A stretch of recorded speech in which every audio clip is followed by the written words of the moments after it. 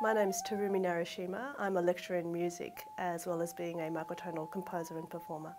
Our project is about creating um, a set of flutes that can play in microtonal scales um, and we're exploring the potential of 3D printing in order to make custom designed flutes that can play in a variety of tuning systems that aren't available on regular manufactured uh, instruments. The first step I'd say is a mathematical model. So there are um, there's research that people have done over many years trying to describe mathematically how a flute may sound and actually they've done that for all sorts of wind instruments. And there's some more recent research that says um, how to model a so-called microtonal flute, which is a flute with different tuning systems.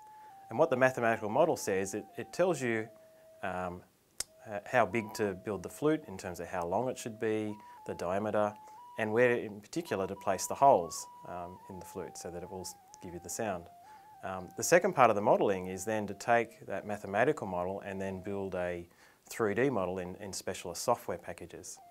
Um, so you have a graphical 3D visualisation of what you'd like to print and from that 3D uh, model we can then um, print that directly on a 3D printer. As part of this project, we do provide the 3D printing capability. We also provide the advice in terms of design for 3D printing. So 3D printing is around, it's changed all the design for manufacturer rules, but it's also brought around its own set of rules as well. So people need to be aware of that when they are preparing a design and so they get the optimal results out of the machines. So microtonal music, um, it's an umbrella term that covers a range of approaches, but it's really about um, making music with notes that aren't part of your standard 12-note um, tuning system.